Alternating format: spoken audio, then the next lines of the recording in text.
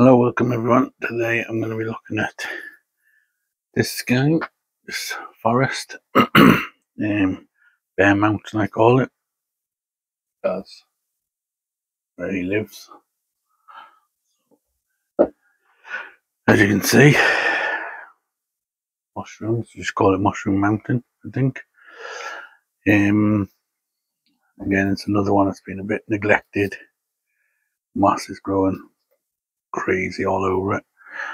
And I think moss is actually stopping the water getting down into the trees. The trees seem to be suffering a bit, which I don't mind too much. I'm thinking I might change these trees on this in the spring, put a different different group of trees on it. These, I don't know, seem to be really suffering this, this one anyway, and this main one was doing good, but I don't know. Maybe I'll just leave it It's a dead tree when it, if it does die. It does, well, it's still alive, but very little branches on it. Um, and maybe I'll just take out this one and this one and add maybe some more trees. Maybe take out, add some more, but we'll see. Um, I made this using a piece of polystyrene like this just got a piece like this and then I used a blowtorch and molded it with a blowtorch to the shape I wanted. And then I put some mesh over it. Oh, back in now and put uh, thin layers of cement. I dyed the cement and then I just put thin layers of cement. Just adding kept adding layers until end up like this. So well, today I'm gonna clean off the you know the weeds and maybe take some of the moss away from the base of the trees anyway especially. Get that out if we can. That, that root is well dug in. Yeah, I think take out all the mushrooms because they definitely don't belong here.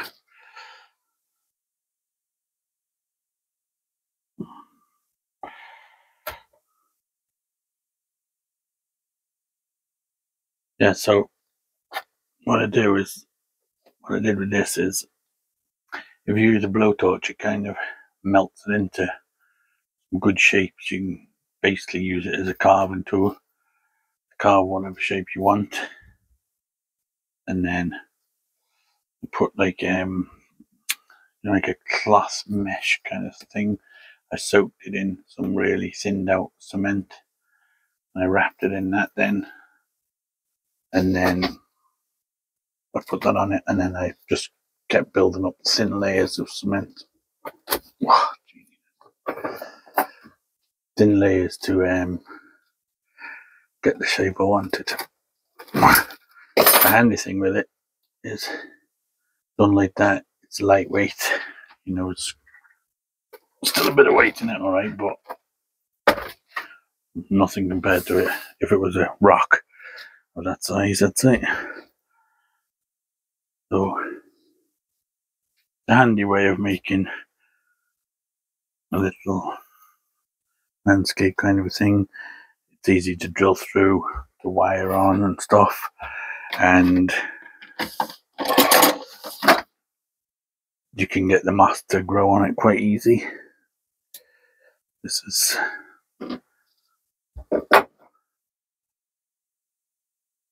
clean off all these trunks. Yeah maybe I'll bring the camera in a bit closer now you've seen the the overall look of it. We'll bring the camera in a bit closer so you can see a better look at the trees. Okay, so just want to try and clear the moss off from the trunks of these. See, my fear with these is because of the slope of it, that the water, though it still feels quite damp up here, not sure if it's getting enough water through all this moss. The moss might be stopping the water soaking in fast enough that it's running off. So I just want to clear off some of this moss back around the base of the trees especially. So let the water into the roots. Get rid of some of these weeds out of it. Can't turn around and show you the back because it's not my shed isn't big enough. I've got some rocks on it, but I don't know if I even need them now at this stage. I might do a better better work on the landscape in the spring. Do a bit of a nicer landscape on it. Maybe put some paths or something. Like I said, I might take out some of these trees, switch them out, some new ones, or I might decide to do a whole new, different kind of forest on it. We'll see. This one because it's it's another one that's been a bit neglected. There, because it's at the back, because it's so tall. I have it at the back, and my benches aren't like typical benches. Mine are. You have to move trees to get to the ones at the back, which tends to be the reason why some of them get neglected at the back.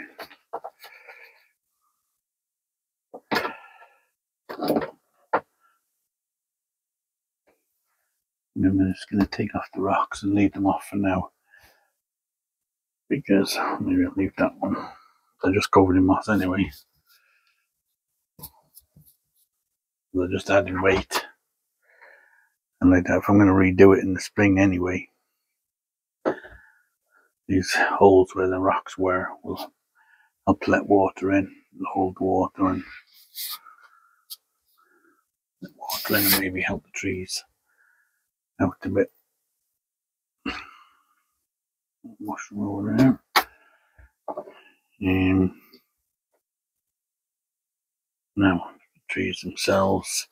You see, this one's got wire on it, which is really biting in. So is that one back there, you can see.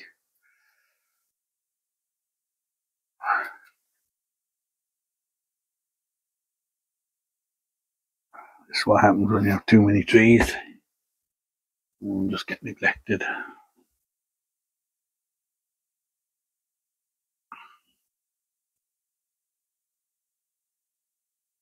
Mm, see if I can get that wire out. I think what I'd like to do with this is put trees in that I don't need to wire. Just use clip and grow. Because like that, when you're doing forests especially, wiring is not the greatest thing because it's hard to get in and to all the trees when they're all on top of each other and then when they're wired and into a big job to try and get in there to get the wire out. Hence why this one's been neglected.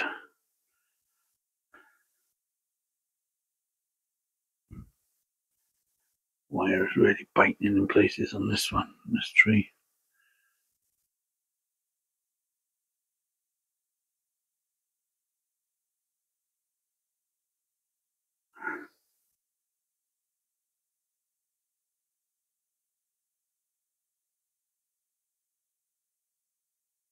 They do need a good source now. If I do decide to keep these trees, there's far too many branches on some of them. There's like quite a big lump here on this one, where there's a whorl of trees, uh, whorl of branches. Sorry, and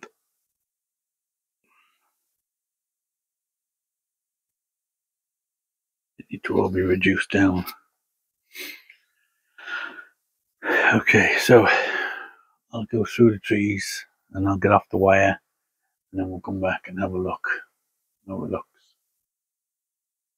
Okay, I've started taking off the wire, but they're so badly scarred. Some of the trees, this back one here, is so badly scarred. It's actually they can't get the wire out. It's swallowed the wire. So I do think I'm going to in the spring take all these trees out and put them in my garden or something and redo this forest because I've just neglected it too much. Really, I can't even get the wire out to some of the places. And it's really made horrible lumps and bumps on the trunk, so lumps and bumps on the trunks. Um, so yeah, I think I'm gonna take it all out. I'll probably just plant it in the garden as is, as a forest. Just leave it grow away maybe it'll eventually just swallow the wire up and not look too bad in a few years. Once it grows in the garden, I'm sure it'll go crazy. But I think it's definitely we're just starting again. They're only young trees these that I got at the nursery. So I think I'll get trees that like I said, do more of a clip and grow. I won't bother putting wire on them. And yeah, redo the forest again. So for now, I'll just put it back on the bench and wait till the springtime and I'll keep my eyes open and think maybe something like larch or, you know, whatever I decide anyway, I'm going to do it without wiring. And maybe keep keep it a bit closer to the front so that I can um, get to it easier work on it. Because when you have big trees like this, which have a bit of weight in them, and at right at the back, you tend to think it, you have to move trees to get it out, and then you're going to carry it down and all that. It's just not ideal. So maybe I should find somewhere a bit closer where I can work on it. Because like my large forest on the big slab, I can keep my eye on that. It's near, it's easy to get to, and I can just keep checking it and trimming it if need be and stuff like that. Whereas this one has obviously been pretty neglected. Back of it hasn't seen much sun. It's pretty dead back here. So yeah. So Okay, so we'll come back to this one in the spring and we'll take it out. Don't even think, I'm not sure if I wired them in or not.